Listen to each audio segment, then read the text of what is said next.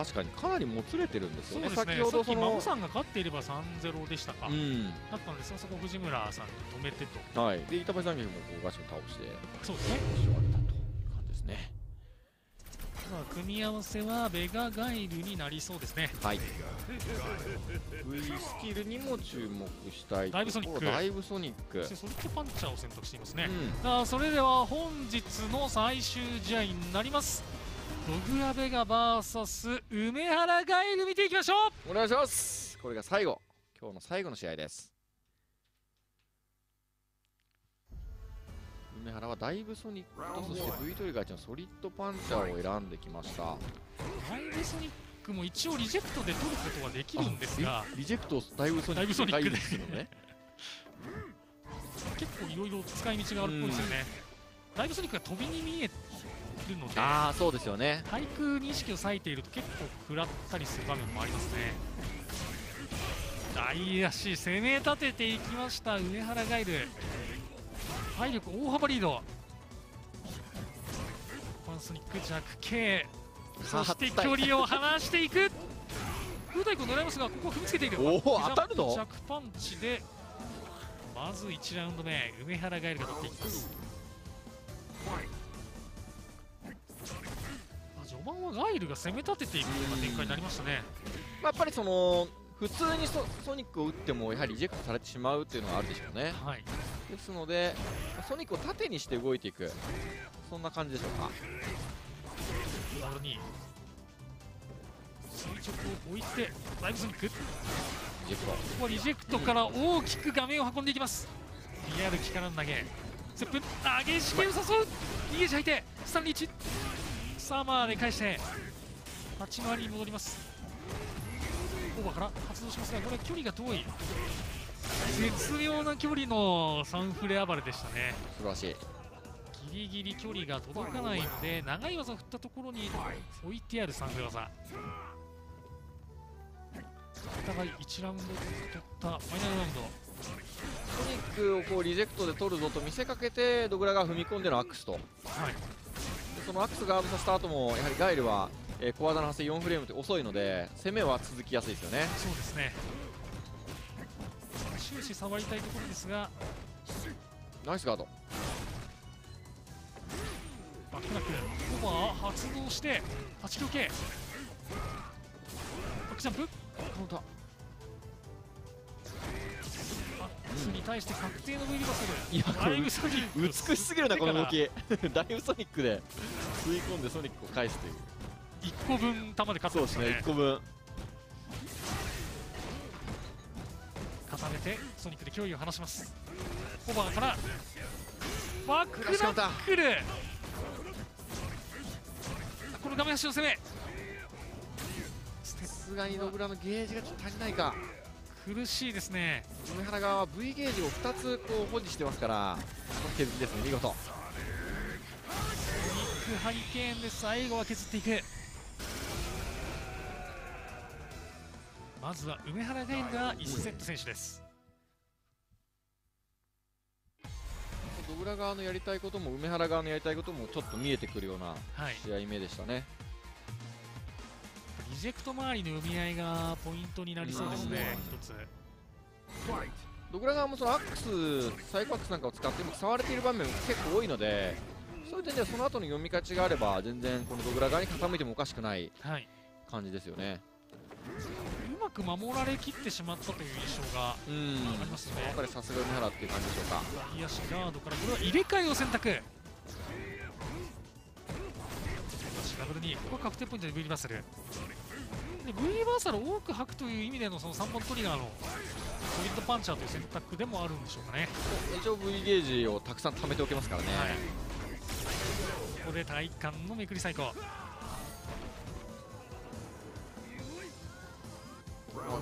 はい、攻めがうまく通りました。垂直ダイブサック踏んでしまう。アクセンター。行きたくなるところに中足の EX2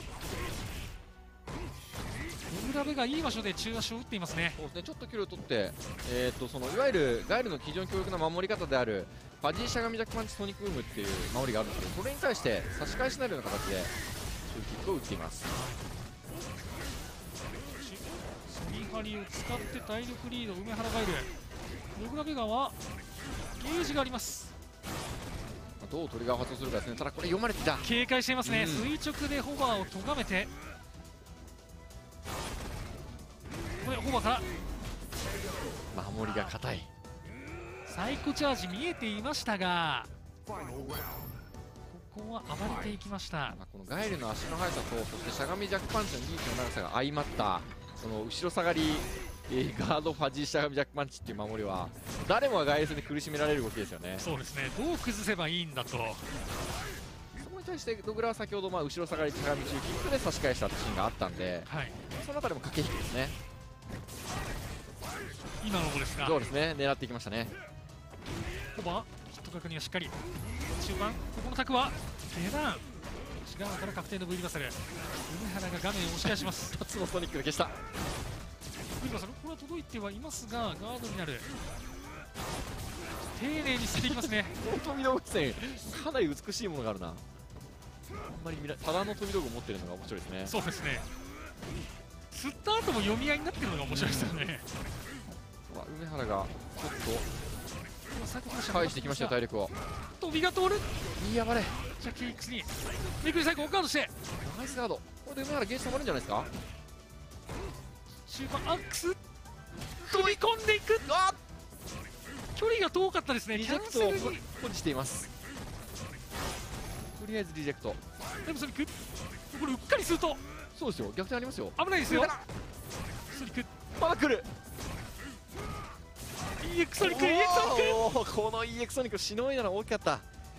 ガイル使いの EX ソニックが飛んできましたが、そこにうまく EX セットプレス玉無敵を利用して噛み合わせていきましたねああいう場面でやっぱりその CA を使った何がし、まあ、削りなんかもあったと思うんですがそういうのを意識させながらむしろ EX トニックで勝ち筋を狙いに来るっていうそのベテラン玉打ちプレイヤーによくある EX 玉の使い方のうまさですよね。ただそこをドグラしっかり読んでガードでしのぎましたね。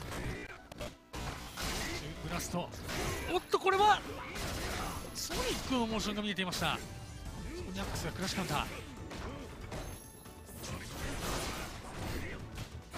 一転してドグラベガが優勢に試合を進めています。球が出なかったか。ルイバサル。これはこの入れ替えでかいですよ。画面足に相相打打ち入れ替えている。ダウン長すぎる。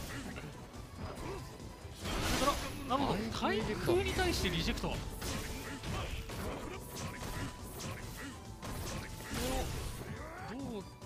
仕掛けていくか梅原がいる体力は心もとないですがゲージは十分にあります、リジェクトがあるんで打っていくと。これはもう一発圏内じゃないですか？よくドグラもしのいでる。守りきりました。これ梅原がね技ガードしたんあー通った。中足。うんこれ梅原側としては技をガードして V トリガーために行くって手もあったと思うんですけど、はい。ドグラのタイミングのいいしゃがみキックが当たりましたね。歩きたいところにしっかりと置いてありました、カウンターからのコンボ。アイブソニックソニックを打ってここをリジェクトで吸い込んでいく。対空がここでしっかりと出ています。上からドグラの飛び方もうまいですね。ちょっと落としづらいタイミングでうまく。いい場所で飛んでますよね。で飛べていますから。ダイブソニック。ステップから投げが抜けて。いいダイブソニック。いい場所で打ってますね。確定にならないような、はい反撃ないようなタイミングです。この画面足の攻め。とこれも相打ちになる。すんげえガイルが寝てるんで簡単に入れ替わっちゃいますね。相打ちでも全然問題ないですよねあれなら。ワンガード様読み切ってダブルアップですね。強パンチャージ。最後チャージ。これで最速投げを取られている。完璧。ルの EX2 でドグラベガが2セット連取。これで2-1ドグラがリードしました、うん。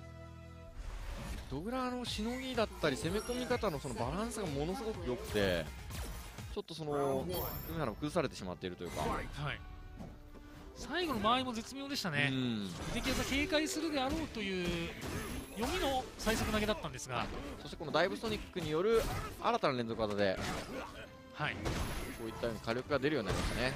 カールの火力上がっています。目まぐるしく画面足が入れ替わりますがアイルハイからサマースードキック。321これはコパンデさん突然乗っていないので倒しきれます。ラウンドを取ったの上原いい飛び。ビタで噛み合いましたね、いい今のは。やはり下がりたい位置でのベガ側の中足がかなり機能しているように見えますね。あれがファジーしゃがみジャックパンチに対して結構噛み合ってるというかそうそこを狙って打ってる感じがしますよね。そうですね、下がりに本当に綺麗に刺さっているというか、さあここもついに空対空を狙いましたが、それでも相打ち、結果的にはドグラがダメージ勝ち EX セットプレスが一つノイズになっていますね。マッチポイントはドグラメがこのまま1日目を全勝で終えるプレイヤーがいないまま終了するんでしょうか。それともなんとか取るか。どうなるんでしょうか。上から仕掛けてそれステップに噛み合わせて。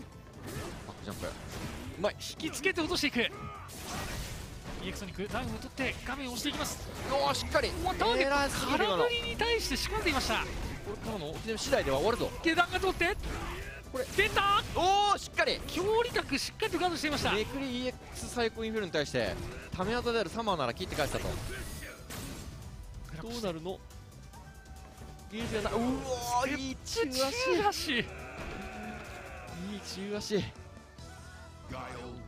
勝負に行った表裏でしたが、まあ、そこはやっぱりガイルっていうため技で無敵技が出せる点ですよね。強さですよね。そうですね。あのー操作が入れ替わっても下ため目ですから、えーどちらにでも出せるというところで返していきましたね。見事でした。これでお互い2セット取った状態。ファイナルセットです。全然わかんないです。お互いいいところ出てますね。これね内容が。そうですね。どっちも非常にうまい。つら先端空振り着地よく取ってるリジェクトで取ってえドグラもその玉さばき見事ですね本当に。そうですよね。取れるリジェクトだけちゃんと取ってるっていう。めちゃくちゃ丁寧。取ると危険なリジェクトに関してはしっかりと見逃して。そうなんですよ。素晴らしいですよねその判断。はい。V リバーサル。これは梅原ガール状況有利でしょうか最後先端。これは有利フレーム